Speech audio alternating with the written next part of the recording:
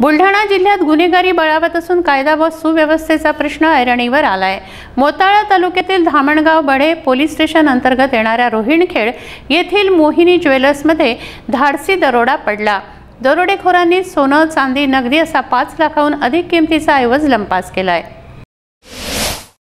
बुलढाणा जिल्ह्यातील मोताळा तालुक्यातील धामणगाव बढे पोलीस ठाण्याअंतर्गत रोहिणखेड येथील मोहिनी ज्वेलर्सचे संजय वर्मा यांच्या मालकीच्या प्रतिष्ठानामध्ये एकोणीस डिसेंबरच्या रात्री अज्ञात दरोडेखोरांनी दरोडा घातला.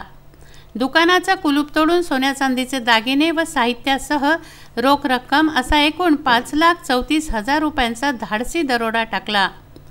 जिल्ह्यात गुन्हेगारी बळावत आहे. पोलिसांचं दुर्लक्ष होत असल्याने कायदा व सुव्यवस्थेचा प्रश्न अनेक ठिकाणी उद्भवतो आहे. रोहिणखेड येथील मोहिनी ज्वेलर्समध्ये धाडसी दरोडा टाकण्यात आला.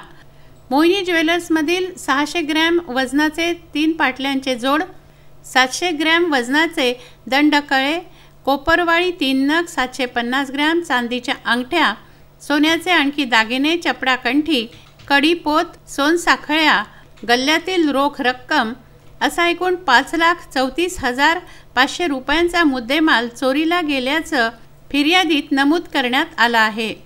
विशेष म्हणजे इलेक्ट्रिकचा मोजमाप काटाही दरोडेखोरांनी सोडला नाही. अडतीस हजार रुपये किमतीचा मोजमाप काटाही त्यांनी या ऐवजाबरोबर लंपास केला.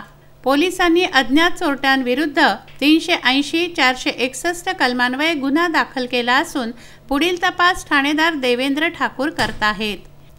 प्रशांत खंडारे विदर्भ न्यूज बुलढाणा.